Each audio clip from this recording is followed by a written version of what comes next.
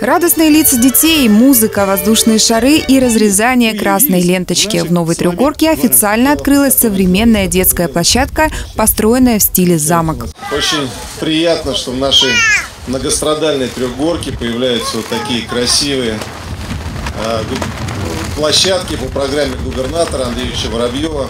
Эта площадка называется «Замок», и выглядит она как замок. Мы особое внимание уделяем качеству материалов, из которого, из которого делаются такие площадки. Они получаются у нас красивые, интересные для полноценного развития наших детей.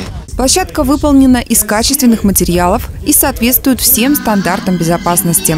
Она оснащена каруселью и маятниковыми качелями, игровым городком, а еще тренажерами. Правда, пользоваться ими смогут только те ребята, которым исполнилось 12 лет.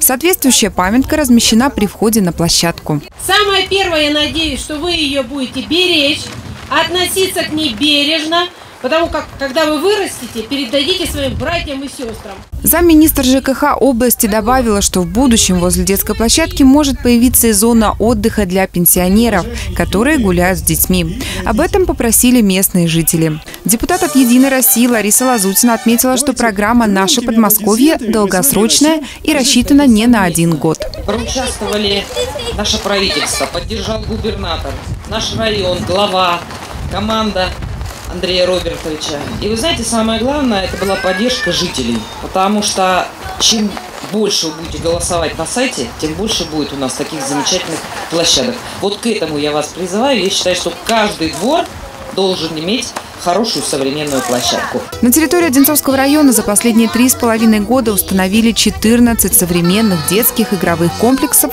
в рамках реализации программы губернатора «Наше Подмосковье». Мила Тарасевич, Евгений Муравлев, телекомпания «Одинцова».